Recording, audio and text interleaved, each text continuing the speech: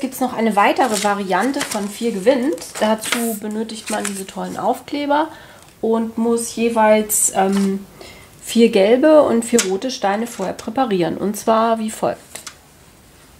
So, man muss jetzt ähm, die jeweiligen Aufkleber, ähm, die gleichen Aufkleber auf einen Chip kleben, jeweils von vorne und hinten, damit er eindeutig markiert ist. Ähm, Im normalen Spiel bleibt ein ganz, ähm, bleibt er einfach ein ganz normaler Chip. Und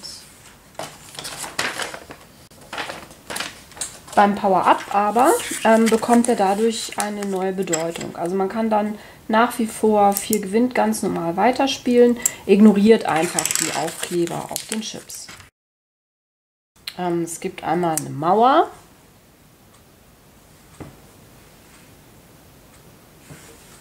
Dann gibt es eine Bombe. Dann gibt es einen Amboss.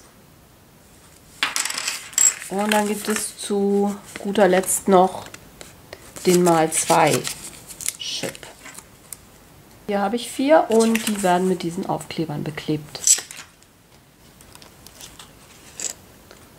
So, fertig.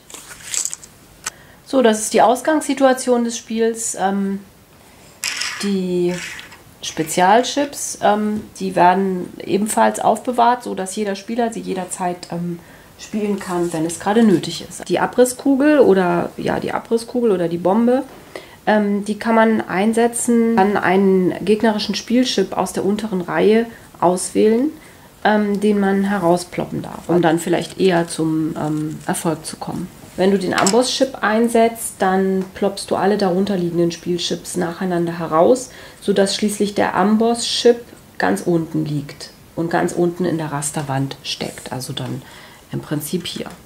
Den Mauerchip, den kann man dann so einsetzen, um gleich darauf nochmal einen normalen Chip einwerfen zu können. Also den, man kriegt dann den normalen ähm, Chip durch diesen Mauerchip ähm, einen Rasterpunkt höher. Den zweimal Chip spiele dann zweimal Chip aus, um gleich darauf noch einmal einen normalen Spielchip einzuwerfen. In diesem Spielzug zählt jeder Chip. Und ähm, wie gesagt, ähm, bei den ähm, Power-Up-Chips handelt es sich um ganz normale Chips, die eben auch eine Fünfer-, eine Vierer-Reihe mitbilden dürfen. So, wir probieren das mal aus. Der gelbe fängt an. Rot, gelb, rot, gelb, Rot, Gelb, den Amboss-Chip einsetzen und alle darunter liegenden wegploppen. Und dann passiert folgendes, er hat gewonnen. Das wäre jetzt ein Beispiel. Oder aber man hätte vielleicht so eine Reihe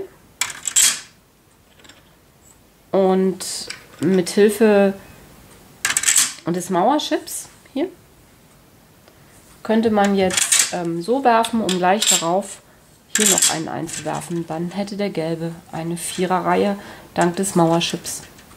Oder auch man darf vielleicht zweimal werfen,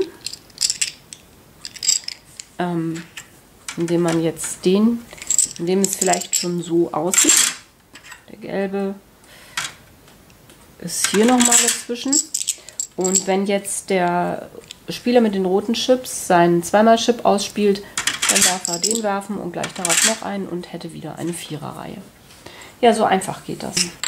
Bei der Abrissbirne, das kann man nochmal zeigen, da passiert folgendes. Die werfe ich die hier rein, ähm, kann ich alle Chips rauskloppen bis zur Abrissbirne und habe hier wieder eine Viererreihe. Das war Power Up. 4 gewinnt Power Up. So, zum Abschluss kann man nochmal sagen, was ganz toll ist an diesem Spiel von MB ist dass es hier eben eine Schiene gibt, die man oben drauf setzen kann. Und ähm, die verhindert dann sozusagen, wenn man das Spiel umdreht, dass es rausfällt.